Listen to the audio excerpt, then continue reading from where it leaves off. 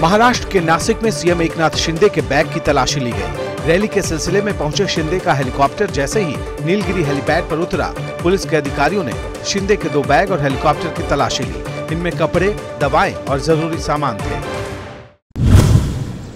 कल हमीरपुर में होने वाली प्रधानमंत्री नरेंद्र मोदी की चुनावी रैली से पहले एसपीजी के हेलीकॉप्टर की ट्रायल लैंडिंग करवाई गई। एसपीजी की टीम ने कलेक्टर और एसपी से तैयारियों की जानकारी ली और लौट गई। कल प्रधानमंत्री राठ में रैली को संबोधित करेंगे। राजस्थान के जालौर के ओडवाड़ा में अतिक्रमण हटाने के दौरान खूब हंगामा हुआ। गाँव वालों ने घर तोड़ने का विरोध किया तो पुलिस और गाँव वालों के बीच झड़प हो गई। इसके बाद हालात को संभालने के लिए पुलिस ने लाठीचार्ज किया।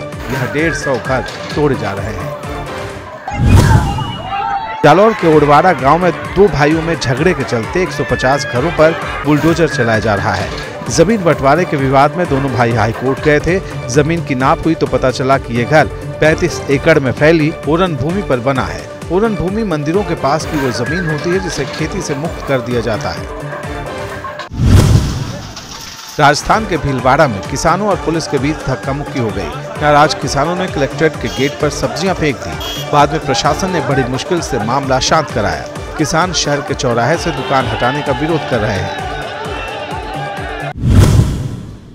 दिल्ली पुलिस ने सीएम अरविंद केजरीवाल के घर से सांसद स्वाति मालीवाल से हुई बदसलूकी की जाँच शुरू कर दी है। इस सिलसिले में दिल्ली पुलिस की टीम सांसद के घर पहुँची। स्वाति मालीवाल से बदसलूकी का आरोप केजरीवाल के करीबी विभव कुमार पर है। पश्चिम बंगाल की मुख्यमंत्री ममता बनर्जी ने पूर्वी मिदनापुर में रोड शो किया। ममता बनर्जी ने कांथी लोकसभा सीट से टीएमसी कैंडिडेट उत्तम बारी के लिए वोट की अपील की। ममता के रोड शो में कलश लेकर चल रही महिलाओं ने सबका ध्यान खींचा।